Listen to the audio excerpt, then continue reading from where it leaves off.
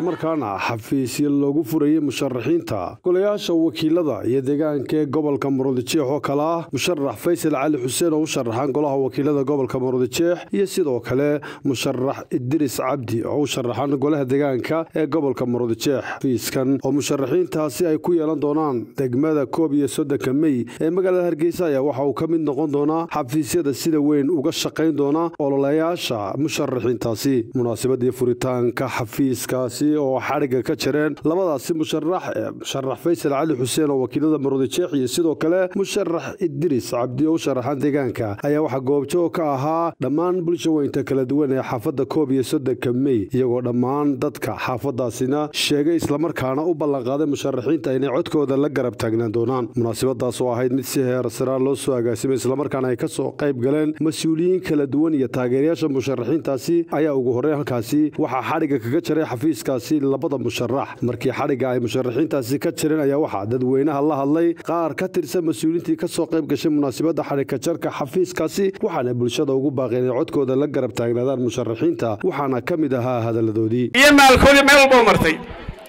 Iyadoo tacabkuya soo galeen ay maanta in yari ka harsan tahay in yari. Tacabkeenna maalinta codka ay maanta wax yar ka harsan tahay ku sugno waxaan leeyahay aynu ku leegsanaano inamadeenna yaan la arkin. Innagoo qof kale meel kale inaga barin annagu xisbi ahaan waxaannu garab taagannahay. Musharaxiintaasaannu garab taagannahay. Waannu soo sharaxnay.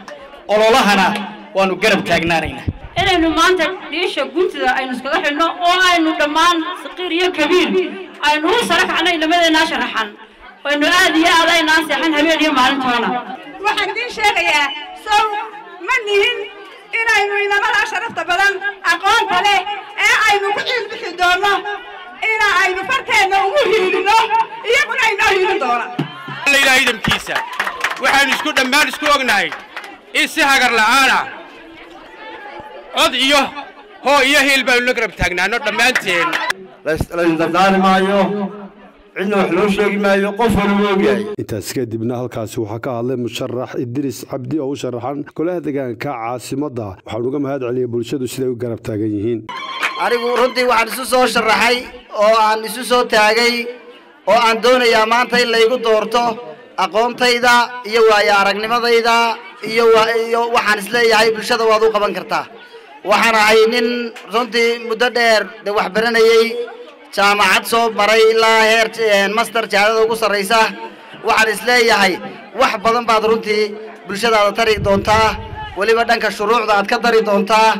Ballanteedu waa maalinta koob iyo soddonka mey iyo diyaargarowga maalinta maalmaha aynu leenahay runtii ololaha. Gabagabadiina halkaasi waxaa ka hadlay musharaxa golaha wakiilada gobolka murudijeex musharax faysal boqor cali xuseen oo isagu sheegay inuu yahay musharax u taagan. Bulshada qiimeeda kala duwan waxaanu sheegay inuu si weyn cadaalada uga shaqayn doono islamarkaana uu ku dadaali doono sidii loo heli lahaa somalilan wada leeyahay isagoo uga mahad celiyey dadweynaha kala duwan ee ku nool degmada koob iyo soddonka mey siday u garab taagan yihiin. Haweenka somalilan ama haweenka koob iyo soddonka mey waxa weeyaan lafdhabarka qaranka ilaalinta shuruucda iyo maxaan ku abuuridda shuruuc caawinaysa dumarkeena ama kobcinaysa garaadka haweenkeena si ay u koriyaan caruur caafimaad qabta waxa weeyaan himiladayda siyaasadeed anigu waxaan u socdaa golaha wakiilada. Golahaasi waa golaha sharci dejinta.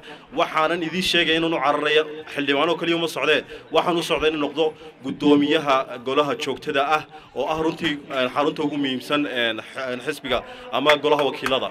Koob iyo soddonka may ballanteenu waxa weeyaan astaanta miisaanka iyo nambarka haddaad ku nooshahay maxaan ku maroodijeex haddaad saylo ku nooshahayna waxa weeyaan astaanta miisaanka iyo nambarka intaas kadibna musharaxiinta iyo mas'uuliyiin kaloo la socda ayaa waxay u boqooleen islamarkaana ay tegeen degmada lix iyo labaatanka juun halkaasi oo ay xadhigga kaga jireen xafiis labaad oo musharaxiintu ay ku yeelan doonaan degmada lix iyo labaatanka juun ee magaalada hargeysa islamarkaana ka shaqayn doona ololayaasha musharaxiintaasi. Markii ay halkaasi tegeen ayaa waxay musharaxiintu xadhigga ka jireen xafiiskaasi lix iyo labaatanka juun waxaana bulshada qaybeeda kala duwan la hadlay. Dhammaan mas'uuliyiintii kala duwaneeda ka soo qayb gashay munaasabadii koobneed ee loo sameeyey xadhigga jarka xafiiskaasi lix iyo labaatanka juun ay ku yeelanayaan musharax faysal cali xuseen oo wakiilada u taagan murudijeex iyo sidoo kale musharax idris cabdi u taagan golaha deegaanka caasimadda waxaana yidhaahdeen.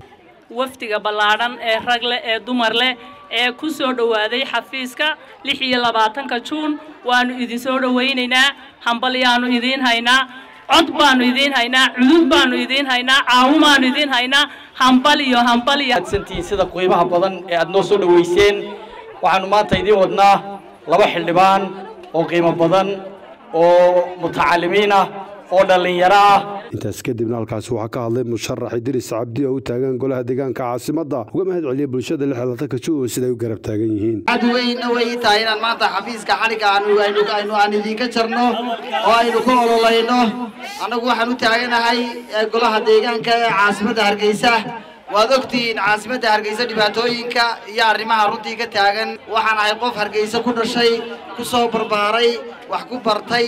Markaa waxaan is leeyahay wax badan baad og tahay. Dhibaatada bulshadaada haysata aad og tahay. Arrimaha bulshada ka taagan dhexdeeda waad og tahay wax badanna waad ka qaban doontaa. Gabagabadiina waxaa halkaasi la hadlay si weynna ugu mahad celiyey bulshada qaybeeda kala duwan ee degmada lix iyo labaatanka juun musharax faysal boqor cali xuseen oo u sharaxan golaha wakiilada somalilan. Waxaanu musharaxu sheegay inuu si weyn uga shaqayn doono cadaaladda isagoo ugu baaqay bulshada qaybeeda kala duwan degmada lix iyo labaatanka juun inay codkooda siiyaan. Waxaanu xafiiskan noqonayaa xafiiska labaad ee musharaxiintaasi ay ka furteen degmada lix iyo labaatanka juun iyagoo musharaxiintu ka furan doono dhammaan qaybaha kala duwan ee gobolka maroodjeex xafiisya ka shaqayn doona ololayaashooda si ay codka bulshada u helaan. Waxaan anugu taaganahay golaha sharci dejinta oo ah runtii meesha waddanku ama dhadhaarku waddanku ka leecay. Soddonkii sano ugu dambeeyey somalilan marxalad wanaagsan bay soo maraysay laakiin shuruucdeennu lamay tallaabsanayn horumarka waddankeenna marka insha allah waxaan rajaynaya inaan abuurno shuruuc abuuraysa somalilan aan cid ka tegayn. Somalilan runtii xaqa dumarka xaqa dadka jilicsan iyo qof waloo kalaba matalaysa anigu waxaa igu go-an ama himilada siyaasadeed. Waxa weeyaan matalaad dhab ah. Cabdiqaadir coday bulsha t v hargeysa. Qoonmaal islaam io fatwa. Ma qabtaa weydiimo diini ah? Ma doonaysaa moobilkaaga inaad ka barato casharo diini ah oo af soomaaliya? Islaam io fatwa. Waxaad ka helaysaa fatwa diini ah? Tafsiir xadiis fiqi siiro dhaqanka suuban ducooyin. Soo qor fatwa ama islaam una dir hal shan eber.